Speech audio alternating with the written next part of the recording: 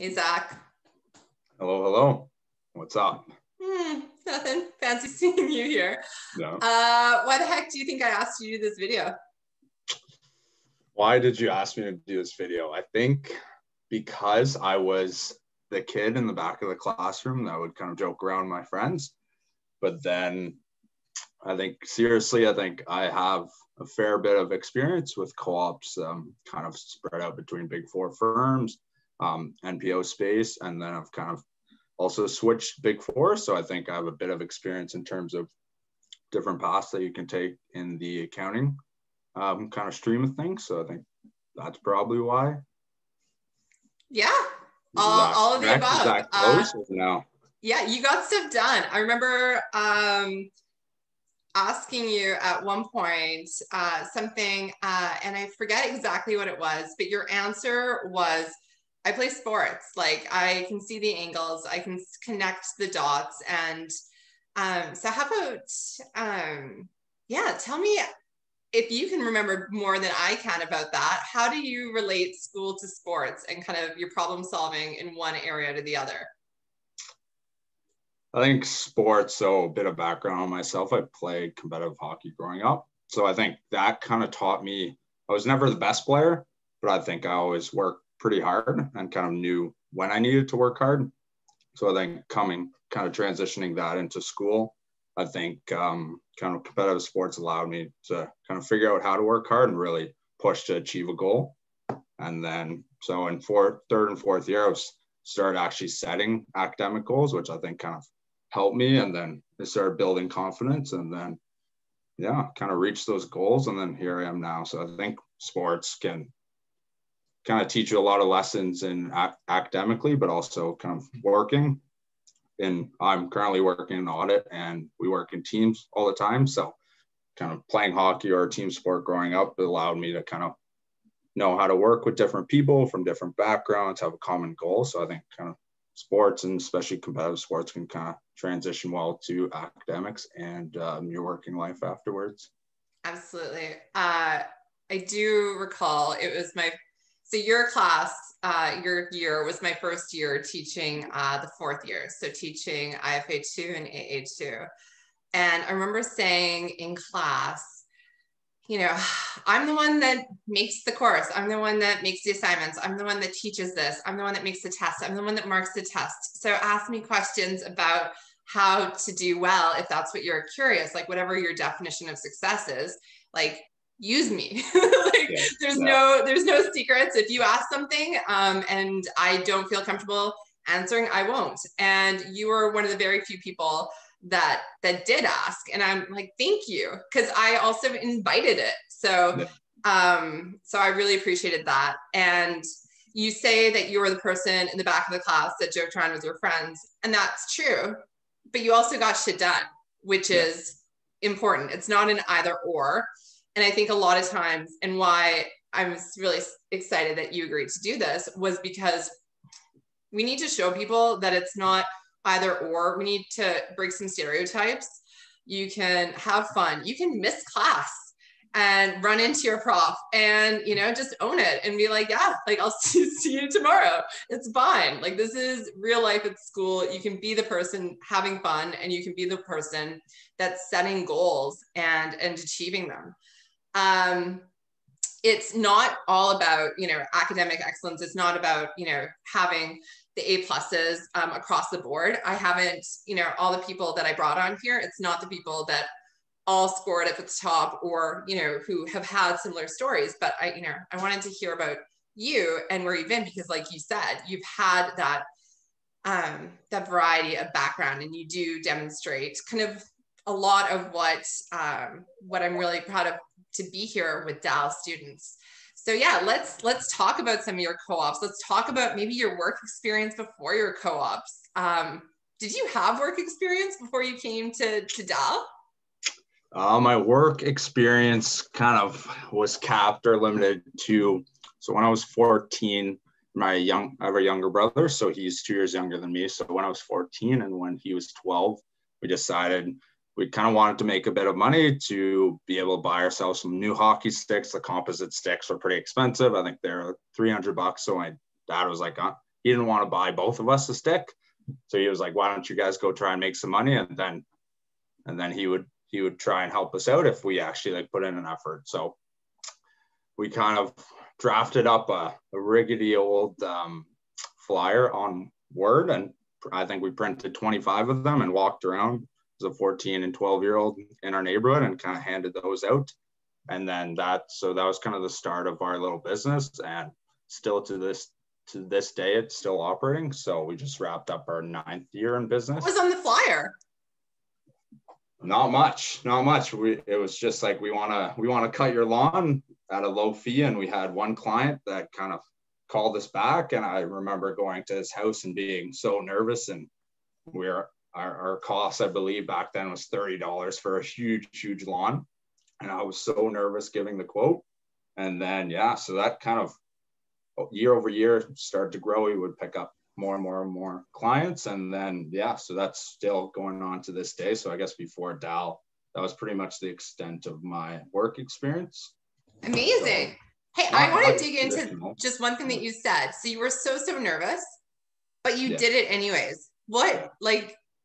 Share with me how you do that when you're faced with something that's nerve wracking. Like, how do you do it anyways? Because a lot of people might be listening to this or might say, Yeah, I've been nervous too. And I chose not to do it. Like, how do you know kind of when or how to kind of push through that? Yeah. So I think for me, I'm someone, at least my personality is someone that's very go, go, go.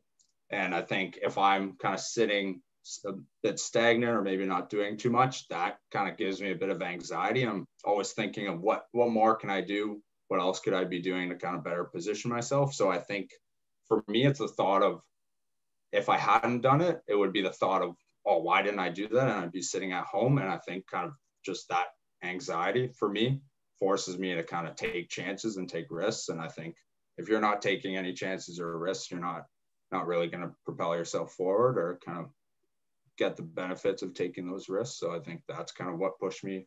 Yeah, I actually I really like that because so often we think that the choice is to do something or not, but we kind of forget that the or not is also a choice. Like, yeah. well, the, the default is a choice.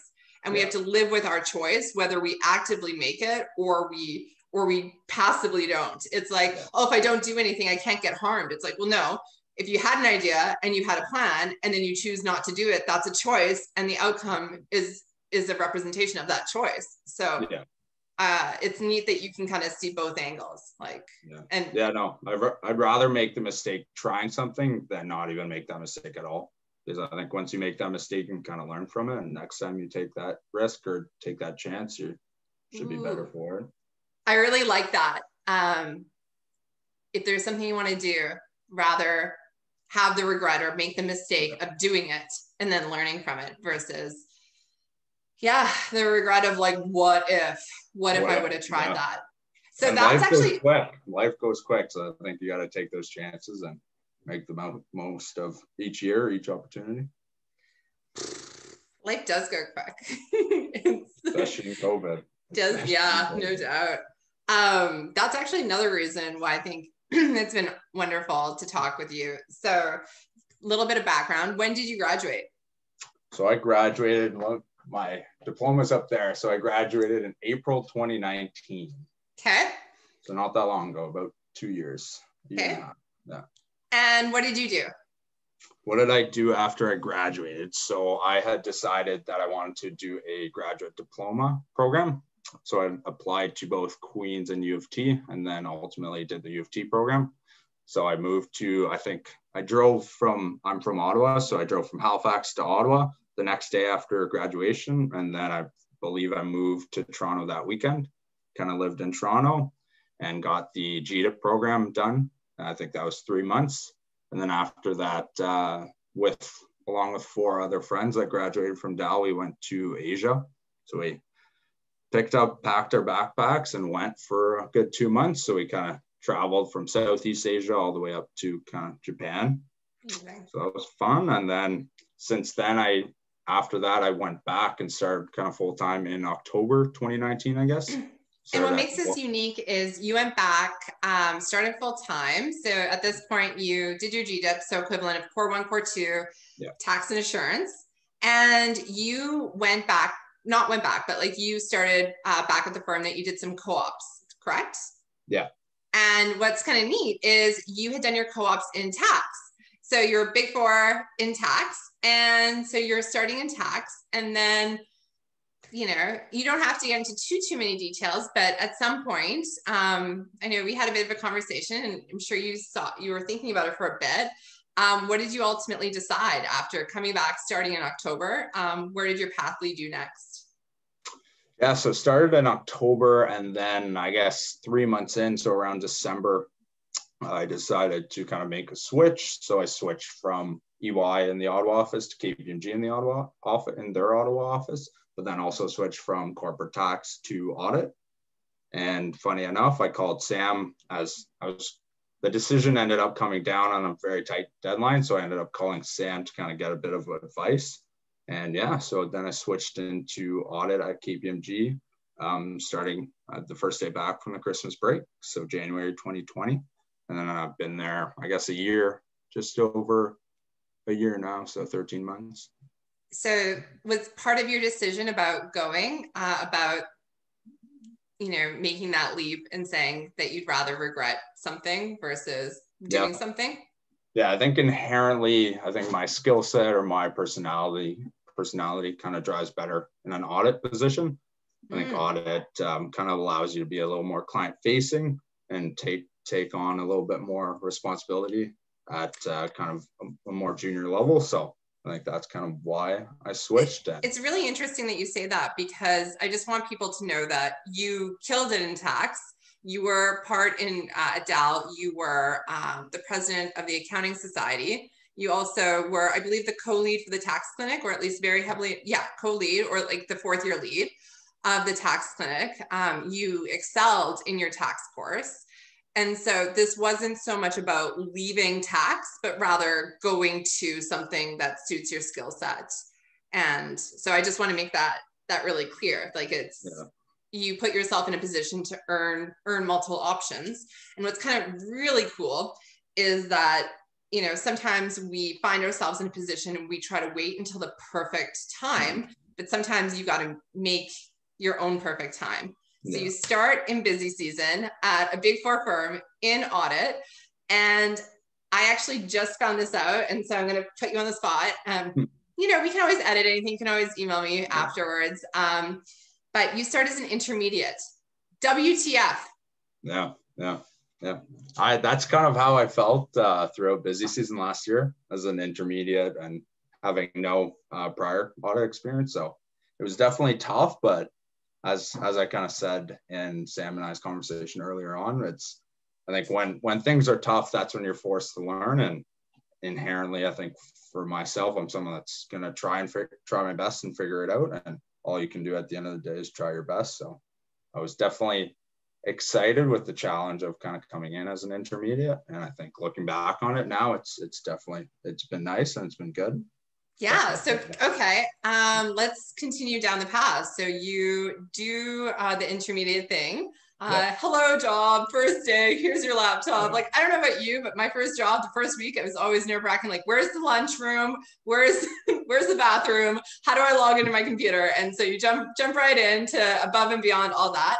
Then May and you sur- you thrive, you survive. And we'll get to where that leads to in a moment. Then May hits, and you start capstone one how is that? How is it going from like a GDIP program where um, where it's intense, it's in per at that time it was in person, and then yeah. you transition to CPA PEP in Capstone One. And it's not just Capstone One like a module, it's the group project. So how is it meeting your group? How is it knowing that this Capstone One was going to roll forward to the day one case? Like what were your thoughts about that? Yeah, it was it was definitely tough because I think for me doing the GDIP program, I had never had to balance both work and then also kind of school or any CPA programs or modules at the same time. So it was tough for me at the start, start especially to kind of balance both. And then my plate was pretty full with work, so it was it was a lot of late nights. I think I would kind of reserve my 10 p.m. to midnight or 9 p.m. to midnight slot once a week to try and work through that but uh, ultimately it's it's it's i think it's a good project because you get to work with different people so my group was, I think, one other Big Four uh, per one other person that worked at a Big Four, and then a few people that worked in non for profits and um, government entities. So so kind of a good mix of skill yeah, sets. Good, good mix of skill set, good diverse experience, and kind of hearing kind of what what their job is on a day to day, and then also kind of working towards that goal. It's nice, as I said earlier, like it's nice for me to kind of work with people. I enjoy talking to people, so I I, I enjoyed it. It was definitely tough. It was a lot of late nights, but uh, we were able to get through it. Yeah, you also see like the end, like with the yeah. each of the module, it's like eight weeks. So sometimes yeah. it's like, and you know, week week one, just submit this, you know, project plan, project schedule. Okay. Yeah. Week two, okay, got part one in. Week five, Kate part two. Yeah. Uh, week seven, okay, the whole thing, and then we have a week to prep for the exam. But so it's kind of broken down in such a way that you can't really you can't fall behind without failing, no, right? Exactly. So it's exactly you got yeah. the little bit of a carrot, but capstone one is also like you know yeah. you're able to kind of plan in um, those three hour chunks or those times with your groups and kind of make it work that way exactly. And yeah when i was when i was maybe busier when i had a busier week or an audit wrapping up i think some of my other team members would kind of pick up a bit more and then vice versa when i was a little lighter with work i was able to kind of pick up a bit more. So it's really about working together and you guys are all all trying to do the same thing at the end right? So. Yeah um, there doesn't need to be any blame or shame. All just focus on the goal because you yeah. got to get there together. Um, yeah. there's no yeah perfect can definitely see kind of the sports. And also yeah just seeing the people part of it and remembering that like we're not uh, we're not accountants in isolation right? It's yep. got to get there. So then how did capstone 2 look for you? Were you working? Were you not working? Was it half and half? Like what did your summer look like? So I think with KPMG, I believe our KPMG uh, allows the writers have study leave, so which is really nice. So I think my study leave started first week of July, I believe, or second week of July. So I think 90% of my capstone two was I was simply studying, and they had kind of built in um, the deadlines for capstone two within kind of our KPMG uh, study calendar. So it was nice. All you kind of had to do was follow the KPMG calendar, and you'd meet all the deadlines. Perfect. And did KPMG provide extra cases above and beyond capstone two? Because Capstone 2, I just bring it up because Capstone 2 has its own calendar. Yeah. So you have like a day one and a day three each week, or a day two and a day three yeah. each week. So they layered on like a little bit more. Yeah, so they layered in quite a quite a few more cases. Some were with a company, a consulting company called uh, Densmore. So some yeah. were Densmore cases, and then some, I believe, uh, KPMG just kind of draft drafted up on their own. So it was a mix of kind of KPMG's cases, Densmore's cases, and then Capstone too. So we had lots, and lot, lots and lots of case writing. And then in excess of that, they had additional cases that you could do on your own time, but um, they kind of suggested just stick to stick to the schedule. It's kind of a tried and true schedule, and they spent quite a bit of time to refine it. So they said just just kind of stick to the plan and don't uh, don't burn yourself out.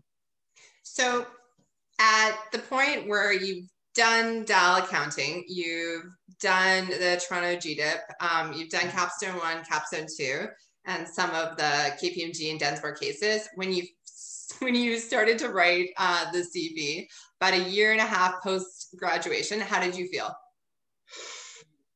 I felt I didn't feel great the first case because I think for someone that's done a GDIP program, you haven't written a case in almost pretty close to a full calendar year.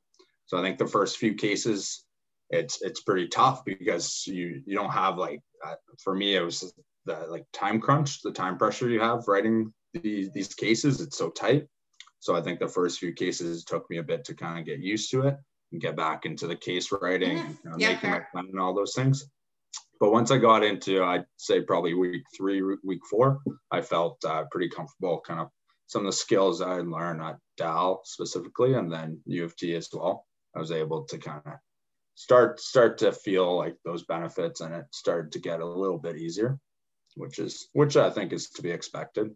Yeah. Um and how absolutely. How did it feel being knowing that the may CFE that year was canceled and knowing that you're in the smack dab of covid um was there ever a fear or concern that the CFE may not happen? And how did you how did you balance all the all the worlds going on with your studying and your your CFE prep? Yeah.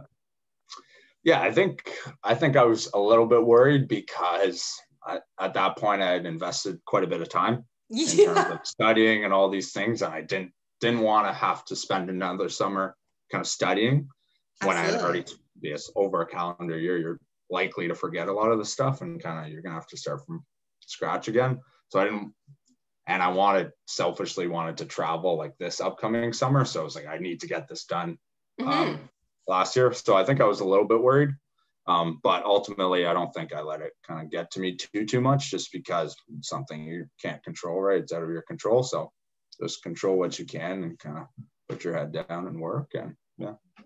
Yeah. No. Um, control what you can. um, but that would be absolutely um, unnerving um, so yeah. give yourself, please give yourself um, lots of credit. All the writers last year really deserve. Um, that's a mental, just mental hurdle, yeah. right? Um, yeah. A lot of uncertainty, and our grads are dealing with a lot of uncertainty. Are people that are writing the modules right now. Um, and like I know we've heard a lot about grit and a lot about you know becoming stronger and i think it's important to recognize that yeah whatever hardships we go through um, a some people have it worse right? Many people have worse. And yeah. yeah, we will be better because of it. But at the same time, give ourselves some credit now for being in the moment. And if you have a bad day or you have a bad hour or you need to just like peace out, like just take your time yeah. and like have that, have those bad days and let yourself yeah. feel it because yeah, like it, it does suck. And then come back and refocus and do your best. Exactly. Agreed. Um, so what what future plans do you have? What are you considering? What is on the horizon for you? Uh, what's on the horizon? I guess you're like, first of all, surviving busy season. yeah, yeah, surviving busy season, kind of getting getting the audit out the door. As I'm kind of focused on one audit specifically, that takes up about 80% of my year. So, trying to see that towards the finish and kind of make sure that that gets signed off and everything's done on time. So I'd say that's kind of my first first hurdle. Um, in terms of kind of plans plans um, after that, I'm should be meeting the CPA uh, practical requirement in June, I believe, May or June. Nice. Holy crap, that comes up quicker than wow. Yeah, yeah. So that's exciting. So as of I guess May or June, I should be should should have met all the CPA requirements. So hopefully be able to put um, those three letters behind my name would be nice. Ah. And then from there, um, keep keep kind of growing within my current job. I'm really enjoying audit, and this year I've switched on to kind of a focus towards uh, public companies. So. And not only public companies. Sorry, I totally missed something um, that happened. What was it? Was it in September or October? Uh, October, October 1st. October 1st. What happened October? You got a friggin' promotion? Yeah, yeah, yeah. October 1st, I was promoted to a senior accountant. So from intermediate to senior. Yeah. So that was that was exciting. Uh yeah. yeah. For sure. So yeah. so many times people will say, you know, oh, I should go into this field because there's so many jobs. I should go into this yeah. because uh, you know, this is the path. I should do this because, and they look at the numbers because we're accountants and we like numbers. Yeah. And there's something to be said about like, you know, certainty or like if, if this is what the many is, then chances are that I can do it. But the thing is about your path is while it might look traditional to somebody on the outside, there was a lot of kind of quote risk or like a lot of betting on yourself and a lot of like showing up for yourself. So yeah. I just really want to emphasize that. And I know, um, I know that you know we don't like to pat ourselves on the back a lot but it's really important to show show other people who may want to do that who maybe want to you know go for a role that you know that maybe they haven't you know done the traditional stepping stones to yeah. but they can do, go there they can learn they can you know bring the work bring the effort bring the 9 pms you know if they want to do that and they can um, be promoted you know yeah. way way way um, you know early but right on time at the same time, right? Right mm-hmm. on time yeah. because not only did you get promoted, but like you said, you transitioned to large public um, or public companies, um, large like cross listed. So dealing with um, the TSX and the NASDAQ, right? Yeah. And on, so inherently within that, IFRS, um, you know, compl- uh, financial yeah. statements, which, yeah. and it not, I don't want to like out the company, but, you know, not easy, not easy topics. And um, just how long did you say that memo was that you were talking about the other day? Yeah, I've I've written some pretty long memos. So I think some some of the memos have been upwards of uh, I think thirty thousand words, twenty five thousand words. So it's despite being in accounting, I wouldn't say I'm the best writer, but I think my writing has definitely improved over over the last six months and as a senior and on a new client. And within that, you said something um, that I thought was really neat is that you were focusing on um, like subjective items. So it was about building arguments. It was about understanding uh, the technical, but then there is no kind of quote unquote right answer. It's yeah. what do I see? What are the risks? How do I support it? What, you know, what are the angles? And then having a position and supporting it and either, you know, having your manager agree or, you know, coming back to the drawing table and, you know, getting new insights. And yeah. so the way that you explained it to me and the way that I hopefully have repeated it, um, just really uh, like encapsulates the professional judgment and the professional skepticism and like the fact that um, you know, I think one of my most like the funniest but not funny teaching moments was when I had a student uh, or like a candidate in CPA scream at me that I should just teach in professional judgment. yeah, yeah, yeah. Because it's no, frustrating, right? Like that, that's how you get there. Yeah. yeah, exactly. Like the yeah, professional skepticism skepticism, I believe, like kind of comes with time and it's definitely frustrating. Like as you start out an audit, you're focusing primarily on vouching and there's always an answer whereas kind of as you start to move up and i think in in any type of client as you start doing the planning a lot of it is subjective right? It's kind of trying to determine what the risk really is and kind of where that risk lies and then how how are we going to address it? So i think over time it's uncomfortable but i think over time you do kind of learn the professional skepticism as as the teachers love to say. Yeah. Uh and I'm just so super excited because there's two things from your skill set that you have evolved just kind of as meta skills.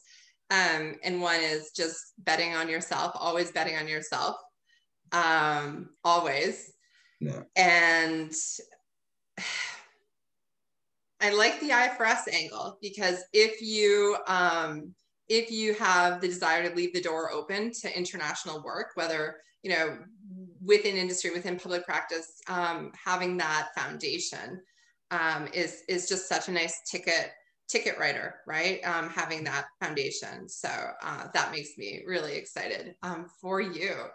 Um, what advice would you have for my third and fourth year accounting students? They are sitting at home. Some of them I haven't met. My my third years, a lot of them I haven't met in person. So um, a lot of them have been doing this online thing for about a year and a half. Um, and then another group are about to graduate, uh, graduate in two months. So thinking about you know where you were um, in third or fourth year, thinking about our students, um, what advice do you have?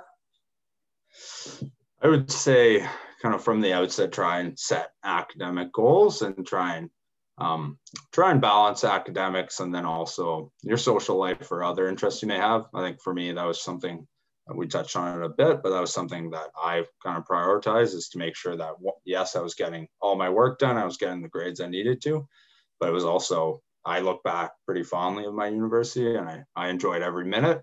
And sometimes when I'm working, I'm in busy season and stuff like that, I, I do kind of reminisce and school was a lot of fun. So I would say academics are important, but also kind of spend the time and have fun. And it's a little tougher with COVID, but have fun with your friends, whatever whatever that may be. For us, it was going to uh, going to cheers and splitties quite a bit. So we definitely made time for that, but we also got our work done.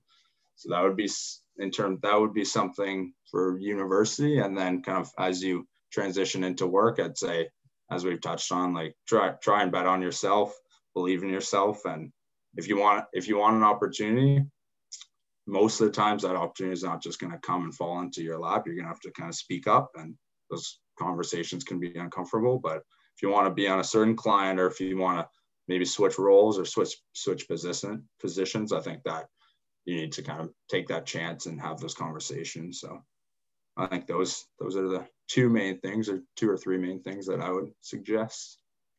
I'm curious, how okay, would you because you were somebody that would come to office hours occasionally or like you would you would be in the Rowe you would study in the Rowe. So knowing that you know not knowing what the what next year will look like we don't know if we're online or uh, in person but just say say they're online. So now you're speaking to the third years who um yeah haven't haven't met myself haven't met laura haven't met tammy in person. Um how would you um would you see any benefit in trying you know how do you establish that relationship maybe with their peers or with us? Or like what would you do to ensure that you maximize your university experience if that was one of the constraints that you were facing? Yeah I, I think it's tough. I've never been in school in this covid virtual environment but i would say when when you do have questions don't be afraid to ask them. And i think if you have that question, likely 80% of the room has the question or virtual room or whatever it may be. Think, yeah, it, will there's no stupid questions. If, if you have that question, a lot of other people have that question, and then that's kind of how you can start to build that report with your prof. And then um, in terms of building a report with your peers, I think for us, we had a good group of, uh, good group of about five or six guys that would all, all study together. So I would say try, try and try and kind of network or try and get to know people in your class because those people are also going through the same assignments and stuff. Don't plagiarize, but you can definitely kind of work together and bounce, bounce ideas off each other. So I think that kind of made made some of those late nights in the Rowe or or stuff like that when we were studying kind of made it fun and we were doing it together and we have dinners together and stuff. So it was it was fun. So, Absolutely. Yeah. Thank you. Have how do you define success? How do I define success? I think I think as you progress in your career, I think success can kind of change your definition. Think as I as I kind of get further into my career and I'm not that far, I think um, kind of your happiness at the end of the day is is most important. So whatever whatever it takes to kind of do that, whether that's fulfill like fulfilling yourself with work and on being on complex stuff and kind of devoting quite a bit of your life to work. I think if that's if that's what makes you happy, then it is. And if I have friends that are kind of just traveling, even in these COVID times, and have a university degree but are traveling, so I think and just really really enjoying it, and I would say they're happy. So I would just say kind of focus on focus on what you can and and kind of find your happiness wherever wherever that may be and kind of go from there. Now you said um, as you progress throughout your career that that definition can change. Can you elaborate a bit on that? Um, I, or maybe I'll I'll start and you can jump in. Um, so many times we hear you know purpose or we hear giving back or we hear some I don't want to call them buzzwords because I don't want to cheapen them, yeah. but I really like how you said as as you maybe get closer to it or as you you know have one definition um, and if that's you know work for you if this is like the season yeah. of work um you know season meaning busy season or season meaning like you know this is your goal like three years two years one year whatever the goal is um that and like that's okay and it's what i hear and correct me if i'm wrong is that it's okay if it changes and in fact yeah. maybe expect it to change like yeah. and shift yeah. but be aware of that underlying happiness mm-hmm. no i agree i agree and for me like when i first started in, in all my co-ops, I've always been work, work, work, work, work. So I think now I'm trying to shift um, to maybe improve my work-life balance slightly. And I think that's still being able to being able to kind of deliver a high quality product, but um, kind of finding ways to be more efficient or finding ways to um, kind of save some time. Mm-hmm. I think mm-hmm. those are those are things that I'm trying to do personally, and I think that comes comes with time as you as you progress through the ranks and into your career? Yeah. And as you progress, um, just a little bit of, uh, I don't know, what do they call them? Like the little the balls with the future in them. Yeah. Uh, it's saying no and yeah. and saying yes to the right things and no um, because so so far like early on in our careers we tend to focus on like getting the door open and then sometimes there hits almost like a tipping point um, where the doors you'll like may may you know fly open because you put in all that work and it's kind of come and so understanding and how to have that decision matrix sort of set up yeah. on what do you say yes to and what's yeah. important and having that time for reflection so i'm really i'm really excited to see um, see what comes for you because you put in the work so yeah. Yeah no i agree. I agree 100% final comments. Yours or mine?